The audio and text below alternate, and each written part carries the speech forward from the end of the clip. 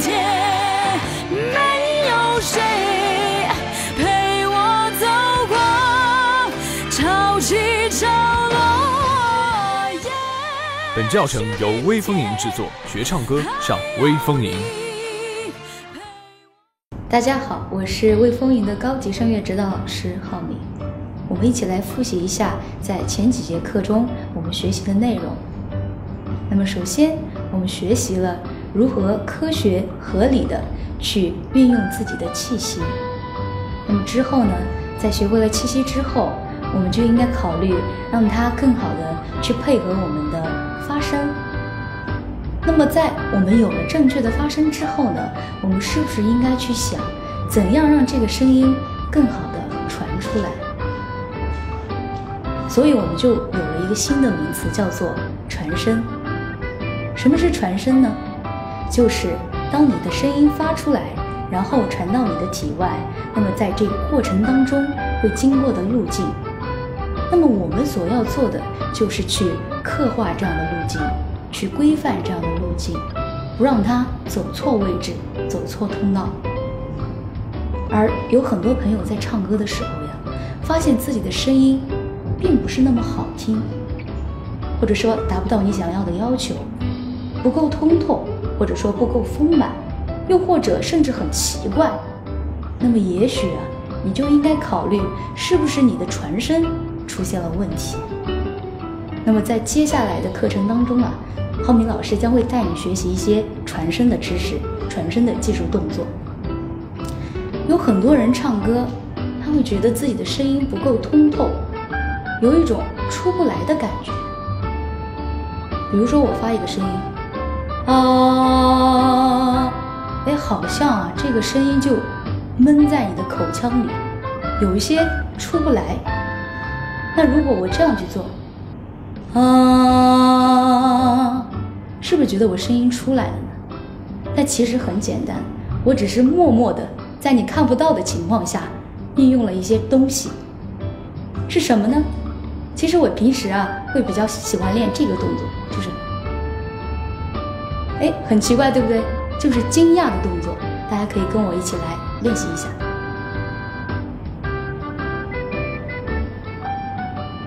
惊讶的动作。那么这个动作有什么用处呢？本来我发一个声，啊，那么我带上这个动作，啊，你会觉得你的高位置变好，是不是呢？大家可以跟着我一起来做一下。首先，啊，然后带上你的惊讶的动作，啊，一下子高位置就好了。那么在唱歌的时候，我们也可以去运用它。当然，高位置好，它也有利于我们去唱高音。为什么？因为高音啊，它代表传声的高抛物线、高频，所以当你高位置做得好的时候，你的这个高音啊就顺理成章的会好一些。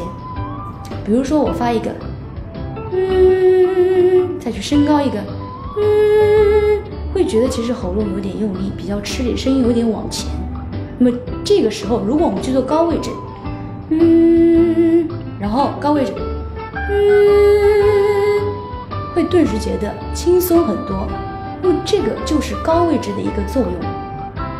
那么除了惊讶的动作，有的朋友不喜欢做做这个动作，或者说做的不是很好，那么我们可以去换一个其他的动作。什么动作？皱鼻子。再来一遍。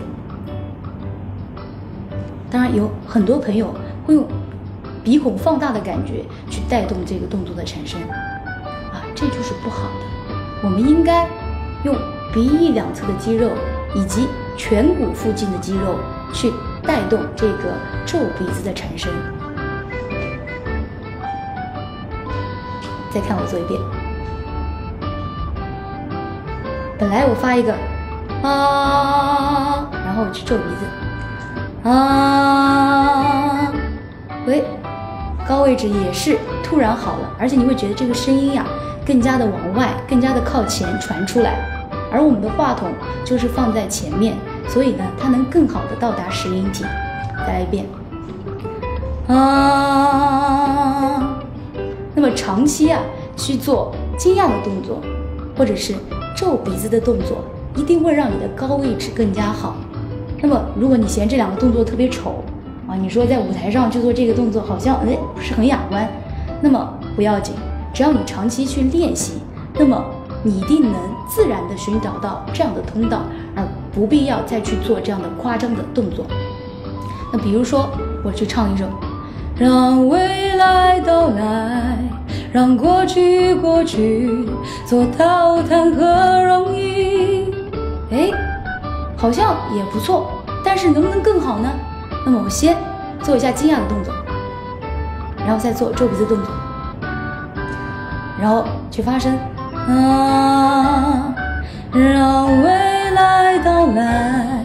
让过去过去，做到谈何容易？是不是声音一下子不一样了，丰满了，立体了呢？这就是高位置带来的好处。那么每天坚持十分钟、二十分钟，甚至是更长时间的练习，你一定会有意想不到的收获。